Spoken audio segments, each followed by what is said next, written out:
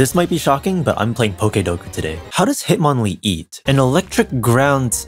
Well, I mean... Well, I could go for Stunfisk, but you know what? Sandy Shocks. Bruh.